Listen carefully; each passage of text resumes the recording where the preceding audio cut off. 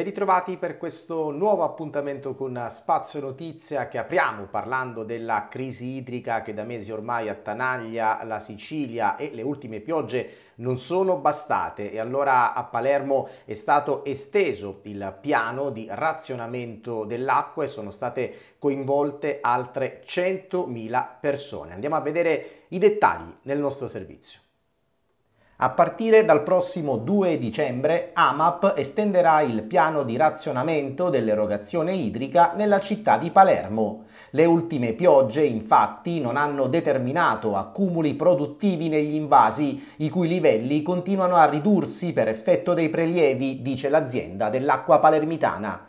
A metà novembre è stata registrata una riduzione delle riserve superiore al 70% rispetto allo stesso periodo dell'anno scorso. Anche le rese di sorgenti e corsi d'acqua stanno raggiungendo valori paragonabili ai minimi storici. Le misure di razionamento finora adottate hanno consentito un risparmio medio di circa 65 litri al secondo, contribuendo a spostare in avanti la data in cui si potrebbe verificare l'esaurimento delle risorse degli invasi. Per tale motivazione, spiega AMAP, con la cabina di regia per l'emergenza idrica e con l'amministrazione comunale di Palermo è stato concordato di estendere ad altre zone della città il piano di razionamento già attivato dal mese di ottobre, coinvolgendo una ulteriore porzione di popolazione di circa 100.000 abitanti. Questi si aggiungono ai quasi 150.000 utenti già coinvolti nel piano attualmente in vigore. Di fatto, dal 2 dicembre saranno 250.000 gli utenti sottoposti al razionamento idrico. Le nuove misure di limitazione interesseranno principalmente i distretti centro-settentrionali della città.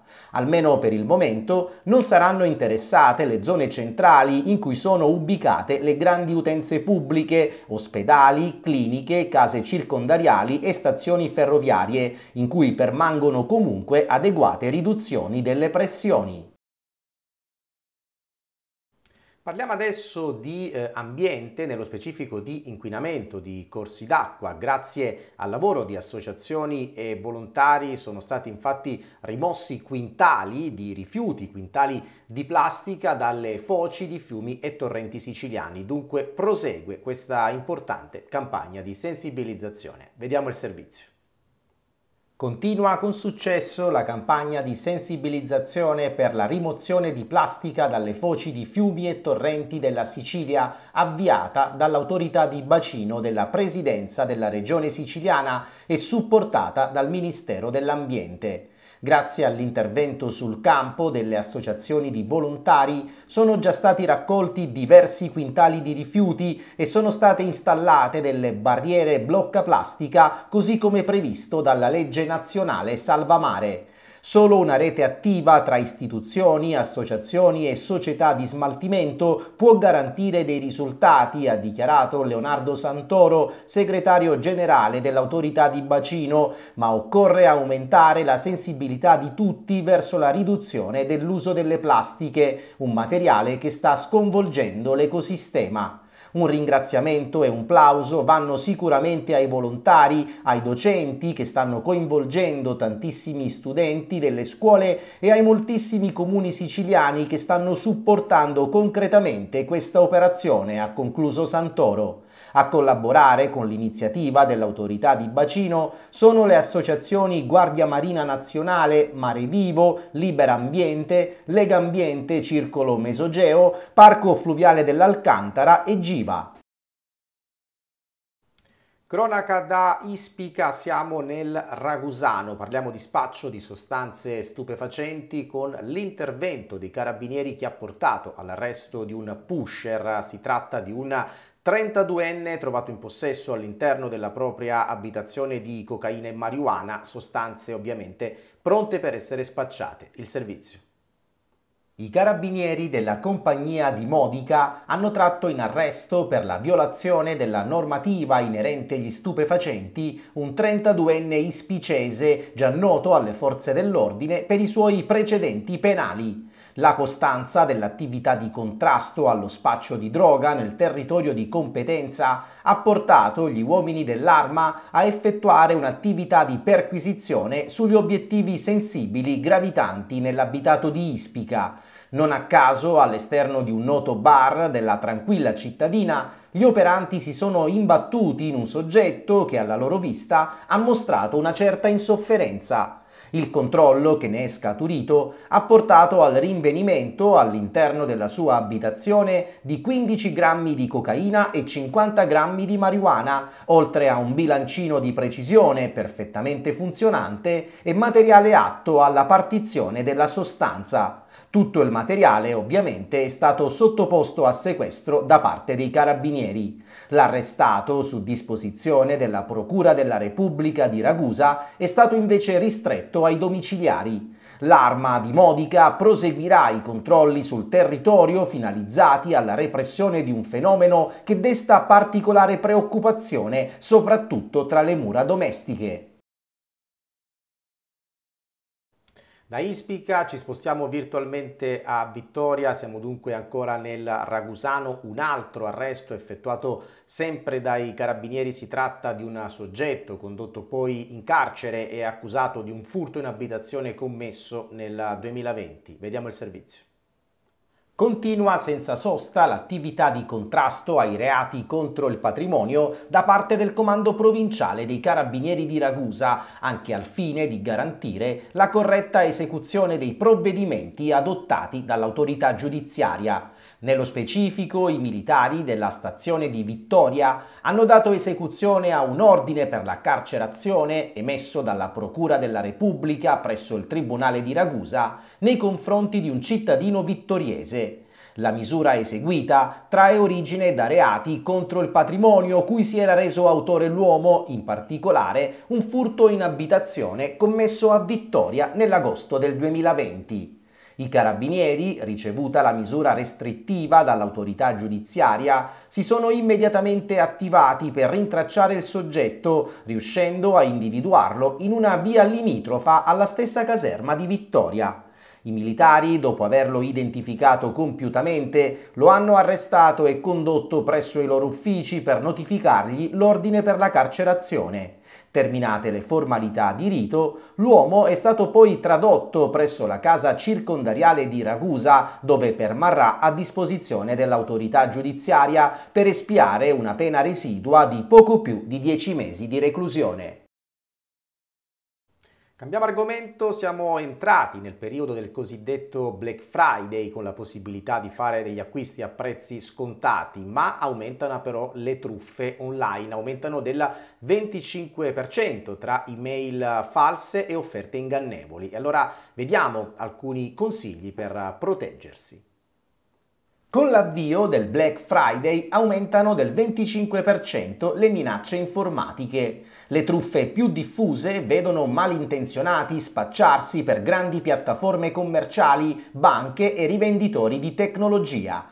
Lo segnalano i ricercatori della società di sicurezza Kaspersky in occasione dell'appuntamento mondiale degli acquisti online scontati. Tra i metodi più usati, secondo i ricercatori, l'invio di false email con sconti esclusivi che sono un pretesto per reindirizzare le vittime su siti web falsi. Un'altra truffa comune sfrutta il desiderio degli utenti di vincere premi. I criminali infatti inviano messaggi che promuovono sondaggi online a tempo con estrazioni di premi, offrendo ricompense di valore come ad esempio smartphone gratuiti. Lo scopo finale è sottrarre soldi o dati personali. Gli esperti hanno ricostruito i passaggi delle attività fraudolente, rilevando che i dati rubati vengono utilizzati direttamente dai truffatori o venduti nei mercati del dark web. Il prezzo di questi dati varia in base a completezza e valore. I set completi di dati di carte di credito, ad esempio, vengono venduti a prezzi che vanno dai 70 ai 315 dollari. Secondo Casper Sky, nel 2024 in generale i cybercriminali hanno portato a termine oltre 38 milioni di attacchi phishing spacciandosi per i principali marketplace e raccomandano alcune regole di sicurezza, controllare il mittente prima di aprire qualsiasi link o allegati ricevuti via email verificare i siti web degli e-commerce prima di compilare qualsiasi informazione, verificare le recensioni prima di acquistare da un'azienda poco conosciuta, accedere al proprio conto bancario online per verificare che tutte le transazioni siano legittime. A Valverde la diocesi di Acireale ha celebrato la giornata mondiale della gioventù. Numerosi i giovani che hanno preso parte a questo evento.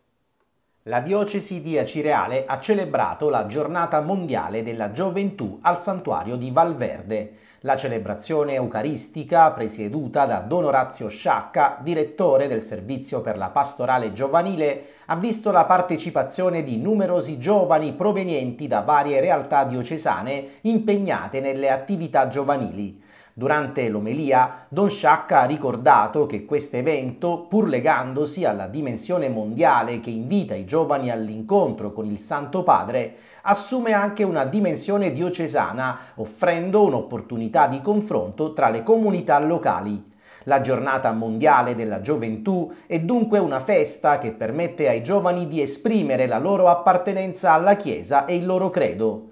Nella sua riflessione, Don Orazio ha sottolineato la regalità di Cristo che si manifesta nella passione e racchiude un messaggio di amore universale. Quando definiamo Gesù come Re dell'universo, ha spiegato, rischiamo di relegarlo a qualcosa di immenso e distante da noi. Tuttavia, l'essenza di questo termine è racchiusa proprio in quella parola universo che include ciascuno di noi. Gesù desidera essere il Re del nostro universo, della nostra vita. Dopo la celebrazione eucaristica i giovani si sono riuniti per condividere esperienze e confrontarsi. Ogni gruppo ha raccontato il proprio cammino di evangelizzazione e servizio, evidenziando sia le difficoltà che le conquiste. La giornata, in un clima di festa e fraternità, ha offerto un'occasione preziosa per rafforzare i legami e riflettere sul cammino di fede comune. La campagna di trasformazione del pomodoro 2024 chiude in calo, un calo della produzione da nord a sud, a sud dovuto soprattutto all'emergenza siccità. La campagna di trasformazione del pomodoro 2024 in Italia si è chiusa con una produzione di 5,3 milioni di tonnellate, in leggera riduzione, meno 2,5% rispetto al 2023, ma con una sostanziale flessione rispetto alle programmazioni fatte, in particolare nel bacino nord, nonostante un maggiore investimento in ettari a livello nazionale, più 11% sul 2023. Lo comunica ANICAV, l'Associazione Nazionale Industriali Conserve Alimentari Vegetali, sottolinea che è stata una campagna molto complessa con siccità a sud e sovrabbondanza di piogge al nord che hanno causato frequenti fermi fabbrica e allungato il periodo di lavorazione fino a inizio novembre.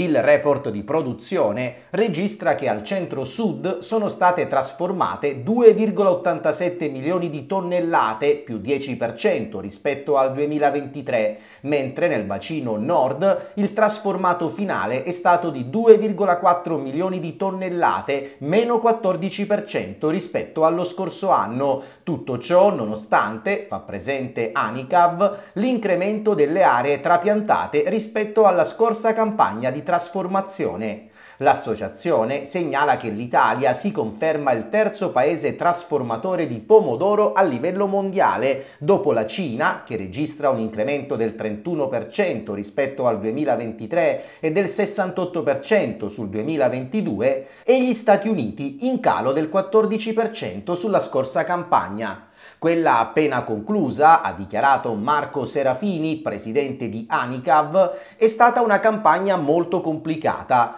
Le problematiche legate alla gestione delle risorse idriche, in particolare, hanno avuto un importante impatto sull'andamento della campagna e se non si correrà ai ripari, la situazione sia al nord che al sud potrebbe nei prossimi anni diventare insostenibile. C'è bisogno quindi di interventi infrastrutturali finalizzati all'efficientamento della filiera e a scongiurare i rischi legati all'emergenza idrica, la costruzione della diga di Vetto nel bacino nord e la creazione di un'opera infrastrutturale di collegamento tra la diga di Occhito in provincia di Foggia e quella del Liscione in provincia di Campobasso rappresenterebbero una prima importante risposta per il nostro settore. Per il momento è tutto, ci fermiamo qui, ma ovviamente ci ritroviamo più tardi per una nuova edizione di Spazio Notizia.